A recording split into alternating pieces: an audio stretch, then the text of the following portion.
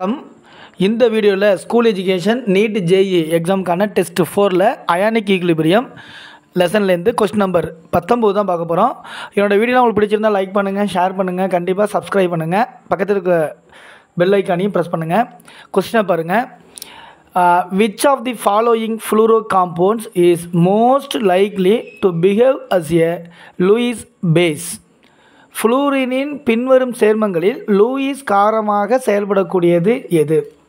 நம்ம Lewis base எதுன்னு கேட்டிருக்காங்க. ஃபஸ்ட் நமக்கு வந்து இந்த லூயிஸ் பேஸ்னால் என்னன்னு தெரிஞ்சால் தான் நம்ம இதை இந்த கொஸ்டின் வந்து நம்ம வந்து அட்டன் பண்ண முடியும். எலக்ட்ரானை வந்து எலக்ட்ரானை டொனேட் பண்ணக்கூடியது தான் லூயிஸ் பேஸ். எ- லூயிஸ் ஆசிட் அப்படிங்கிறது எலக்ட்ரானை அக்செப்ட் பண்ண வேண்டியது அக்செப்ட் பண்ணக்கூடியது என்னது? லூயிஸ் ஆசிட் இதுதான் வந்து லூயிஸ் ஆசிட்டுக்கும் பேஸுக்கு உள்ளது. சரி இந்த லூயிஸ் பேஸாக யார் யாரெல்லாம் இருப்பாங்கன்னா மேஜராக பார்த்தீங்கன்னாக்க நெகட்டிவ் சார்ஜ் இருக்கும். அந்த அந்த மாலைக்குள்ளே வந்து நெகட்டிவ் சார்ஜ் இருக்கலாம். இல்லாட்டினாக்க லோன் பேர் ஆஃப் எலக்ட்ரான் இருந்துச்சு அப்படின்னா அது வந்து லூயிஸ் பேஸாக டெஃபினட்டாக அது வந்து ஆக்ட் பண்ணும். நமக்கு நாலு ஆப்ஷன் பாருங்கள் இந்த ஆப்ஷன் சியும் ஆப்ஷன் டியும் பார்த்தீங்கன்னாக்க ஃப்ளூரோ காம்பவுண்ட் வந்து carbon silicon germanium tin lead இந்த குரூப்பில் வருது. ரெண்டு இது carbon silicon கார்பனோட atomic number six so one S two two S two two P டூவாக இருக்கும்.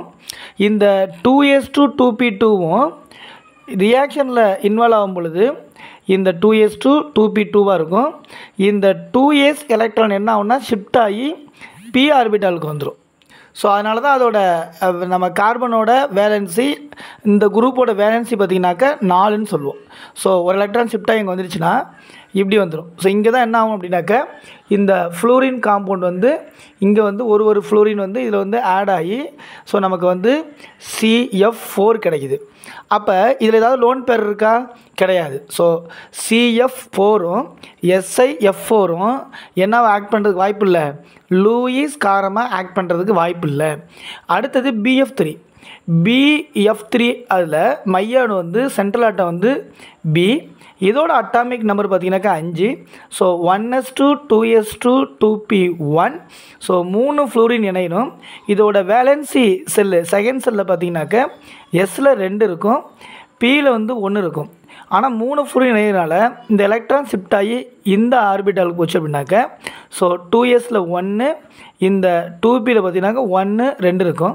ஸோ இது டூ எஸ்ஸு இது டூ பி அப்போ இந்த இடத்துல வந்து ஒரு ஒரு ஃப்ளூரின் இங்கே ஒரு ஃப்ளூரின் இங்கே ஒரு ஃப்ளூரின் இங்கே ஒரு ஃப்ளூரின் வந்து இருக்கும். ஸோ இந்த ஒரு ஆர்பிட்டால் வந்து வேக்கண்ட் ஆர்பிட்டால் இருக்கிறதுனால இது ஈஸியாக எலக்ட்ரானை வந்து அக்செப்ட் பண்ணிக்கும்.